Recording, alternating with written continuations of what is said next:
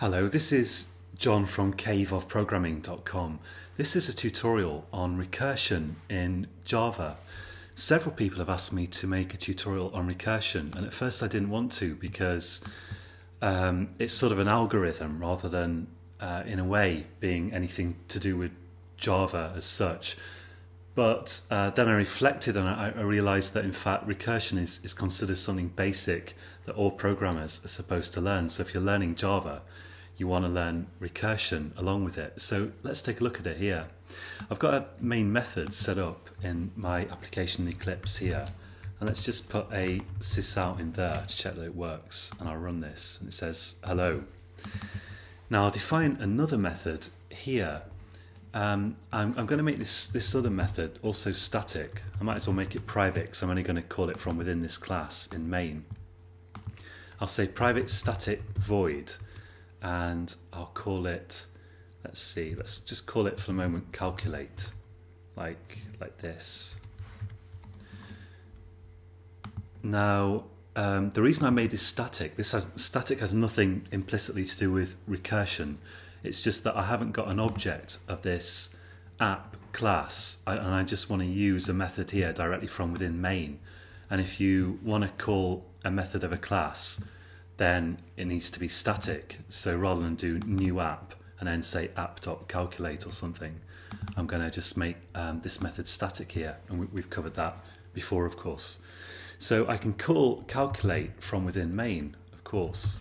Let's put calculate in there and sysout hello and run that. And this is all completely standard ordinary Java.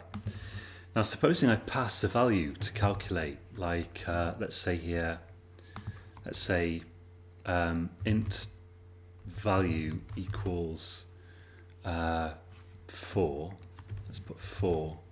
And then I'll make calculate take an int value and I'll display the value here and I'll pass pass it in here.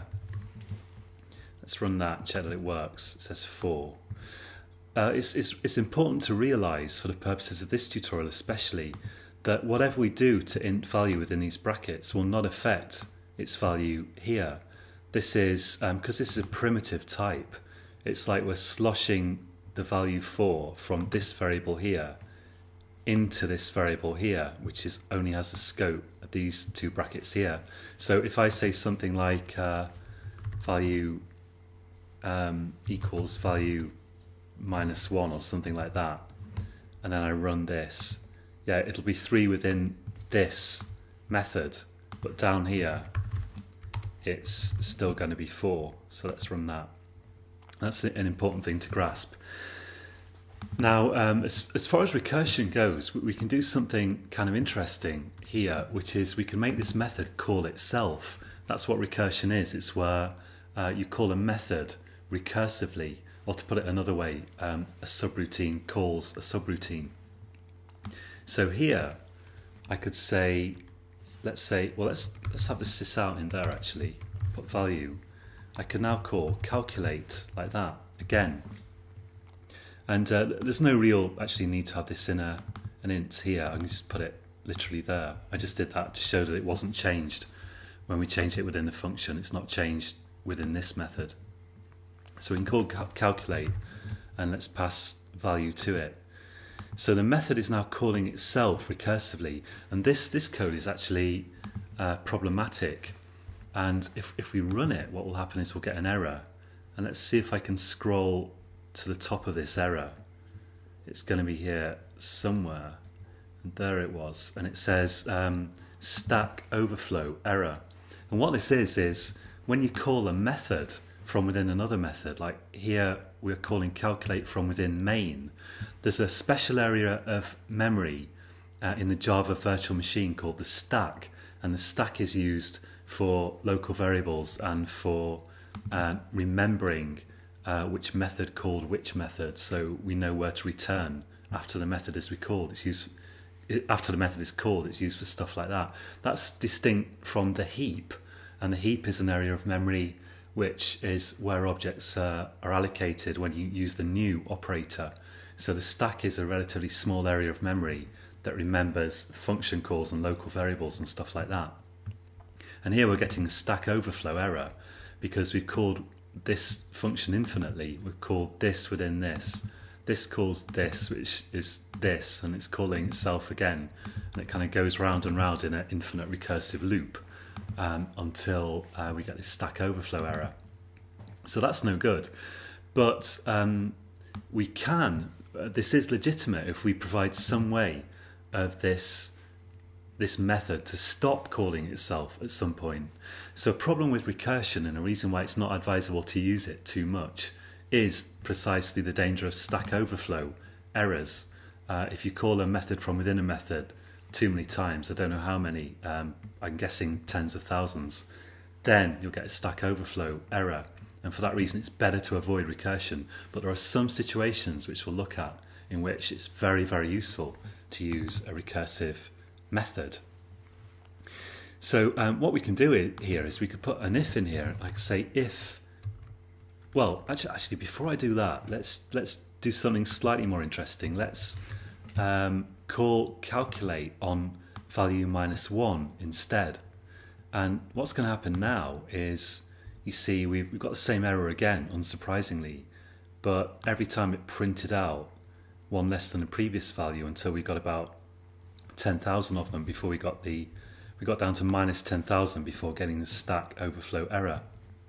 So calculate initially has the value 4 which it displays and then it calls calculate with the value um, minus 1 which is 3 so then we end up coming in here again and the second time it prints 3 and so on. But now the interesting thing is it's possible to stop the recursion because I can say something like if value equals 1 then, uh, or maybe even it's, yeah, let's just do that actually. If value equals 1, then we can say um, return 1, like that. Uh, oh, yeah, we're not returning anything at the moment. Let's just say return, like that. And then if we run that, now it prints 4321. So uh, we're coming in fine and it's calling calculate for values greater than 1, but when it gets to 1, it just returns. So we've got one method calling another method. What's this? Four four times, I suppose. Um, yeah, because we call calculate initially with four, and we get this, and calculate calls itself one, two, I guess three times. Now we can, we can do useful stuff with this, and uh, one classic example is to calculate a factorial value. A factorial value is if you take, for example, um, e, let's say example, e.g., uh, the factorial of 4, which we write like this, 4 exclamation mark, that's not programming terminology or anything, that's, uh, that's some mathematics terminology. 4 factorial. I think you write it like that, or is it, is it like this? I think it's like that. Uh, it doesn't matter anyway. 4 factorial is equal to 4 times 3 times 2 times 1, although the 1 obviously doesn't matter. So the factorial of any number is equal to the number multiplied by all the numbers below it, so to speak, leaving out 0 because if we multiplied it by 0 at the end, we'd just get 0, of course.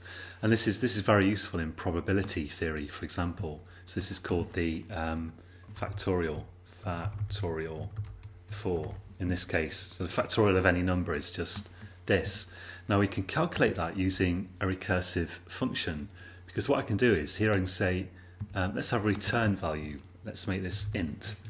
And here I'll say if the value is 1 we'll stop by just returning 1 but otherwise if, if the value is something greater than 1 we'll say we'll call calculate itself on value minus 1 but we'll multiply the return value of that by value itself and we'll return this. This is getting a little bit more complicated now, and you'll have to think about this probably a little bit, unless you're cleverer than me, uh, to um, get your head around it. Let's let's run. excuse me. Let's run this again. Uh, and now what I, what I can do is I can print out return value actually here. So here, and let's run this. And now the factorial of 4 is 24 and um, I can let's I can also rename this to factorial, which might be might be handy, like like this. So now we've got a function that calculates the factorial. You need to rename this as well of any number passed to it, factorial five or whatever. And uh, to see how this works, it's um, it's probably going to help if you just think through what it does for small values. So if we call this this method here, I'm using like function and method interchangeably. It's it's a method because it's part of an object, but you could also call it a function or subroutine if you like. Um, subroutine programming lingo. Function is more a mathematics lingo, but it's all good. So um, function uh, takes in usually a number and returns a number. Um, and let's say we pass in one. What would happen is we'd come in here and it would say, is value one? Yes, return one. So this would display one. So we, we pass in one here. We just get one like this. Uh, if we pass in two, what happens is we come in here with the value two and it says, is the value 1? No, it's not. So it doesn't do this. It comes down here and it calls factorial on 1. In other words, 2 minus 1, which is 1, times 2. So we're taking 2 here and multiplying it by factorial 1. 2 times 1 is, of course, 2. And um, so that this, the factorial of 1, will just return here. We'll just get 1. So if we call it with 2, here it's 2, and doesn't execute that, it executes this. That's 2. This will end up being 1, so 2 times 1 um, is what is returned in the end from the, from the function, and that's factorial 2 is 2. I don't know if that sounded hideously confusing or helpful, but um, either way, I'd, I'd advise just going through this logic for yourself. Imagine what this will do for the value 1 and then the value 2 and and so on.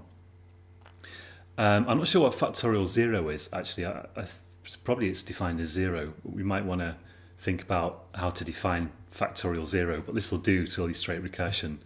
And if we pass in three, um, it's it's going to do three times two times one. So we've got an extra step to it. It comes in here and it says, okay, three times whatever factorial three minus one is. In other words, factorial of two. Um, and then it so it's coming in here a second time and saying, okay, we'll do um, two times whatever the factorial of two is, and uh, all these values get stored basically on the on the stack, and the end result is you're calculating factorial three. I think once you once you've got your head around what's going on when you pass in one and when you pass in two, it starts to become fairly clear what will happen for three and four and five and so on, and you, you get the idea. You could spend days thinking about this until you your understanding of it is as great as your understanding is of uh, you know pulling out a chair from underneath the table but it's probably not worth it to have that degree of clarity you'll, you'll get the idea if you just look at a few small values of this um, so this this is a classic example of where you use recursion the, important thing to remember with recursion is always always make sure that it's going to stop somewhere and, and don't try to make it recurse uh, thousands of times. Stick with small numbers, otherwise, you could get a stack overflow error. Another classic example where we use recursion is um, let's take a look. Is uh, if you look at the Towers of Hanoi puzzle, Towers of Hanoi, there's a there's an explanation of this on Wikipedia. This simple game, which uh, looks complex and intimidating at first, but it's actually relatively simple. Um, the Towers of Hanoi puzzle is you have these discs on these rods, and you've got to move the discs by moving one disc at a time onto another rod. And you're only allowed, you're not allowed to ever put a bigger disc on a smaller disc. And the, puzzle is to move the tower from move the entire stack to another rod, one disc at a time, obeying these these rules. And uh, if you look down here, somewhere we've got an explanation of the recursive solution. And although this looks a bit intimidating, uh, it's, it's, actually um, in some ways easier to understand than calculating a factorial, I find.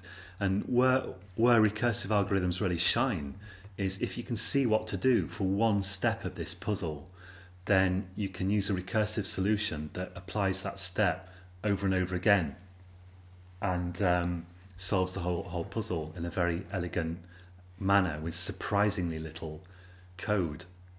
It's, it's, it's better to use loops in general than recursion, but in this case, using a loop would be uh, actually quite hard to figure out mentally, whereas the recursive solution uh, turns out to be pretty simple. You're kind of looking at the end result and saying, okay, what would I have to do to get to one step before that end result where all the, all the tower has been moved?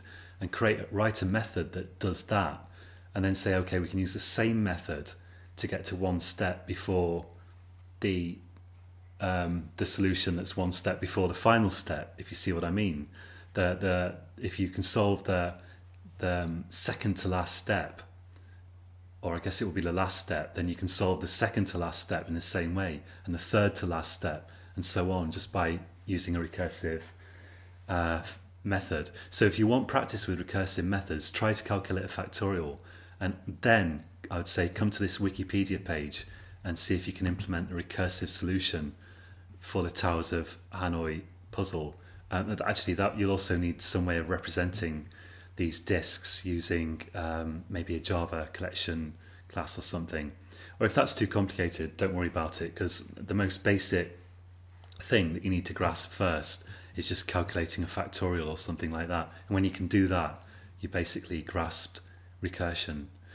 So um, that's it for this tutorial. I'll put this code as always on caveofprogramming.com and if you go to www.caveofprogramming.com there you can find lots of free videos and some free articles as well and some free courses and lots of other courses that include free videos. So you can just click on this and go look straight at some free videos. And the source code for this is going to be if you scroll down to the YouTube videos section you'll find it um, under the appropriate um, well this is actually going to be in the basic Java video tutorials and it'll be down here somewhere when I get around to adding this source code. Just click on a page in this section and you'll find the source code. So that's it for this tutorial and until next time happy coding